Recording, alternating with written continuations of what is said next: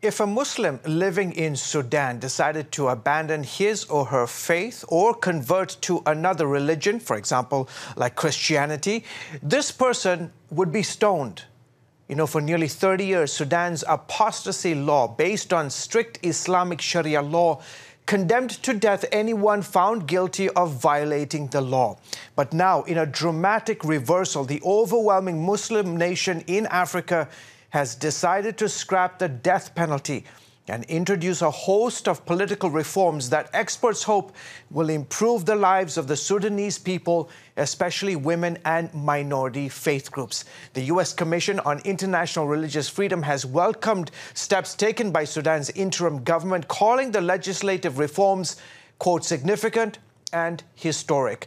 USCIRF's uh, Vice Chair Anurima Bhargava joins me now for more. It's great to have you on the broadcast. Uh, you know, Sudan was one of 12 countries in the world punishing apostasy by death, not anymore. How significant is this? It's uh, extraordinarily significant because I think, in so many ways, what we've seen in Sudan, which was after 30 years of rule by an Islamist regime uh, in protests that brought down that government. Uh, we are now seeing uh, massive reforms across the country, including uh, this most recent move to to make sure that apostasy uh, is no longer something that would be punishable by death. Um, and I think for the Commission and for many around the world, Sudan is a place that we can now look to uh, to see how it is that we can move from extraordinarily restrictive uh, regimes, particularly for women, that uh, to a place where there is much more belonging for people of all religious faiths and where religious freedom can thrive. Uh, I remember covering the conflict in Sudan, whether it was with Darfur or between the north and the south for many, many years, and to see um, an overwhelmingly Muslim nation to, to, to take such a step uh, uh, uh, in terms of reform and reforming aspects of, the, of its uh, Islamic penal code is quite significant. Uh, I'm curious, the amendment, I'm sure, is good news for Sudan's non Muslim community, right? It's good news for the non-Muslim community. Actually, since uh, a joint civilian military government came into place in August of last year, we've seen a number of reforms. We've seen everything from Christmas being declared a national holiday. We've seen the disbanding of church councils that had been used to intimidate uh, churches and their practices.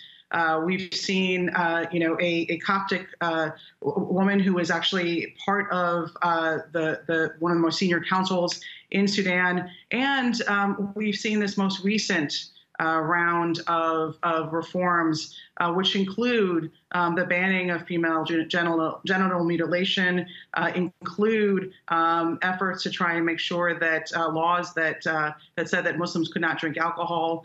Um, those are those are all th- things that have actually benefited not only uh, the Christian communities that have been long been persecuted in in Sudan, but Muslim communities as well, um, and the guardianship law, and that was a law that required women um, to get a permit um, from a male guardian to be able to travel abroad.